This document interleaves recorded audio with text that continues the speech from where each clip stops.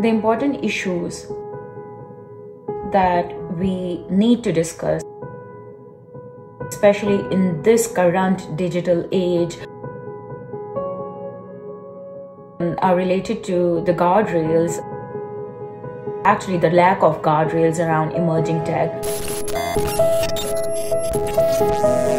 I think it's important that we look from the human rights uh, uh, framework.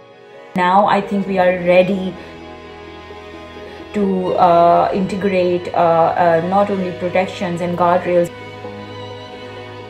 but international human, human rights framework in these conversations that we are having around emerging technology today.